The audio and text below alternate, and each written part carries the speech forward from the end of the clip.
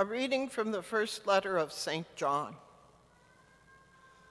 I am writing to you, children, because your sins have been forgiven for his name's sake. I am writing to you, fathers, because you know him who is from the beginning. I am writing to you, young men, because you have conquered the evil one. I write to you, children, because you know the Father. I write to you, fathers, because you know him who is from the beginning. I write to you, young men, because you are strong and the word of God remains in you, and you have conquered the evil one. Do not love the world or the things of the world.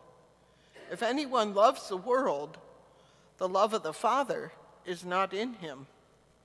For all that is in the world, sensual lust, enticement for the eyes, and a pretentious life, is not from the Father, but is from the world. Yet the world and its enticement are passing away. But whoever does the will of God remains forever. The word of the Lord. Let the heavens be glad and the earth rejoice. Let the heavens be glad and the earth rejoice. Give to the Lord, you families of nations. Give to the Lord glory and praise. Give to the Lord the glory due his name. Let the heavens be glad and the earth rejoice. Bring gifts and enter his courts. Worship the Lord in holy attire. Tremble before him, all the earth. Let the heavens be glad and the earth rejoice. Say among the nations, the Lord is king. He has made the world firm, not to be moved. He governs the peoples with equity. Let the heavens be glad and the earth rejoice.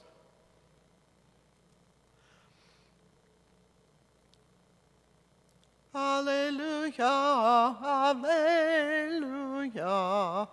Alleluia. Alleluia, Alleluia, Alleluia. A holy day has dawned upon us. Come, you nations, and adore the Lord. Today a great light has come upon the earth. Alleluia.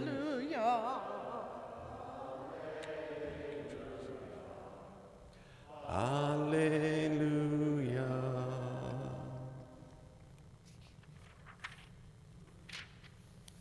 The Lord be with you. A reading from the Holy Gospel according to Luke.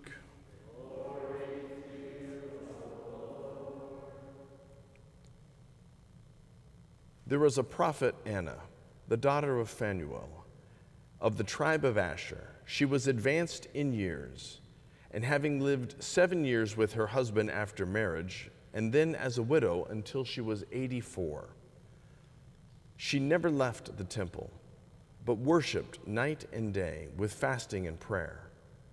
And coming forward at that very time, she gave thanks to God and spoke about the child to all who were awaiting the redemption of Israel.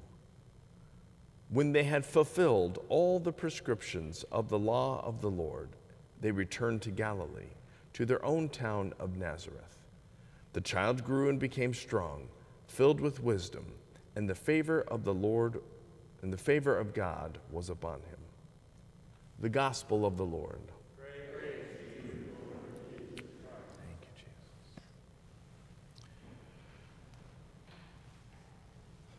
The end of our first reading today says, Whoever, whoever does the will of God remains forever.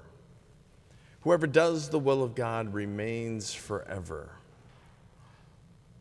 Uh, I want to actually recall something that Deacon Ed said yesterday in his homily and bring that back a little bit. He noted as Mary and Joseph are going to the temple, they're simply fulfilling the requirements of the law that God had outlined for them. They were simply being obedient to what God had commanded. They weren't doing anything special, anything out of the ordinary. There was no vision from an angel. This was simply doing what was, to some extent, you could say, even they were obligated to do. When we understand that, though, in the best sense of the term of obligation, that that doesn't become something uh, obligatory as in heavy, but something that is our right obedience to the Lord. And this, uh, what they were fulfilling are the days of purification. When you go back into Leviticus, you get the requirements after a woman has a baby. So she has seven days that she remains, uh, seven days of purification uh, after she's had the child, and then there's an additional 33 days uh, following that. So seven days for a son, an additional 33 days, totaling 40 days that she remains at home uh, preparing for her purification. So, where she would then arrive in the temple, they would take an offering of a lamb. If they didn't have that, the turtle doves, which they take. And they present themselves, she presents herself in the temple for her purification. As well, there was a, uh, a bit of a liturgical rite of presenting the firstborn son.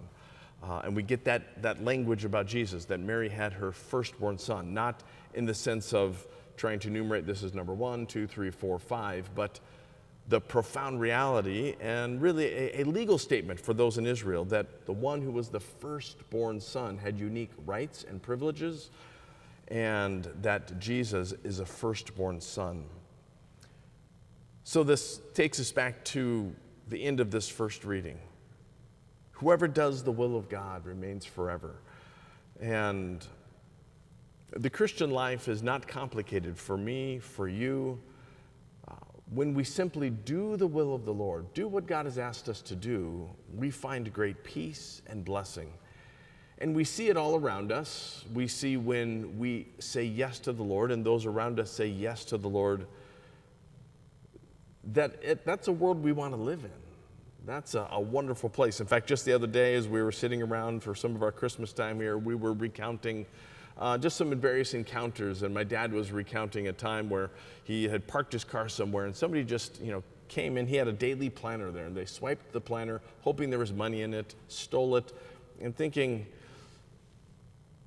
doesn't everybody want to live in a world where people honor one another and treat one another the same? But the reality is, we are under this taskmaster of sin and that, that opening opening prayer, that opening collect, um, spoke about that, that taskmaster that we're under, that being under that yoke of sin which, which drives us. So, this season, this Christmas season, about the Lord coming into our world, is about inviting you and I to do what the will of God says.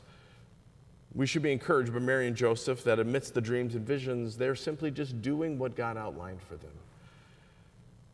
And when we look at struggles in family, marriage with children, culture, politics, uh, it's not much more complicated than what has God said to do? And let's do that. And real concretely, how we speak to one another.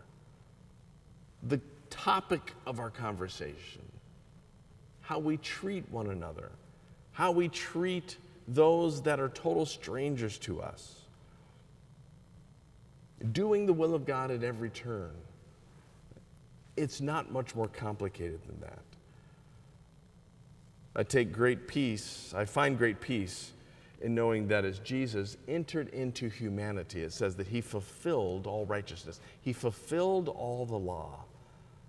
So that Jesus himself, God in the flesh, did all that God had outlined for them to do. And that invites us today to reflect on what is God calling us to do Where is it in our life that we are needing to respond more fully to the Lord, simply saying yes to do what He has called and asked us to do, therefore honoring God, and as the second greatest commandment says, honoring our neighbor as well? Amen? Amen.